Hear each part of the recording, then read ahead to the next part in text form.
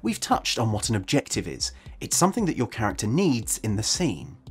But what's standing in the way of you achieving your goal or your objective? This is called an obstacle. How do we overcome obstacles? We use tactics. Let's use the clear and obvious example of your character needing to kiss another character. After all, human contact, intimacy and connection is one of the most instinctive things we feel as human beings. So your character's objective is to kiss another character. However, the other character is already in a relationship. That is an obstacle. Perhaps the other character is not attracted to you like you are to them. That's another obstacle. Perhaps the other character needs to leave, so that's an obstacle. Time is a constraint here. Time is an obstacle. Your character therefore needs to implement tactics to win over, complete, or overcome this obstacle. So what tactics can you use as your character? One tactic might be to jump in and kiss the character quickly, surprise them and get it over and done with. Another tactic might be to flirt with them and gradually get closer to them. You may want to show off, boast, or try and impress them. Another tactic might be to make them laugh and amuse them. You may want to self-deprecate and gain sympathy from them so they feel sorry for you.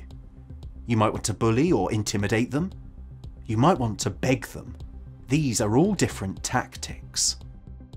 Humans use tactics every day in their lives. Anything that we do physically or say, and how we say it, will have a tactic behind it. As actors, we need to utilise this idea in the characters that we play. The simplest and most distilled phrase for this is what do I want and how am I going to get it?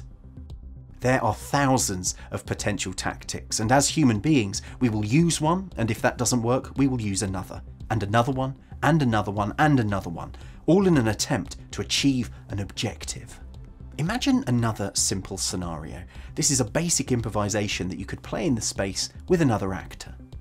There are two actors, A and B, and one chair. A's objective is to make B sit in the chair, Meanwhile, B's objective is to stay standing. A can do or say anything they want in order to achieve their objective, and B can do the same. If you're A, you may want to physically grab B and put them in the chair. That's a tactic. A might want to compliment B. A might want to bribe B with money, food, or a gift of some sort. Perhaps A could threaten or intimidate B in some way. Meanwhile, B will be playing their own tactics to achieve their objective which is to stay standing. What we have here is the basic premise of all drama conflict, different characters wanting different things in a scene. This will be the starting point for any scene that you'll be working on. You have an objective, an obstacle, and a tactic. These are the basic building blocks of acting and Stanislavski's system. An objective is something that you need, and that feeds into the super objective above it, which is the overarching life goal. There will be an obstacle, which is something that's getting in the way of you completing your objective.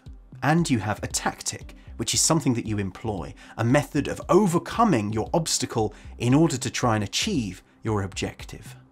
Thanks for watching. If this video helped you, please give it a like, do check out these other videos and subscribe. And if you want to support what I do on the channel, you can click on the link in the video description. All the best.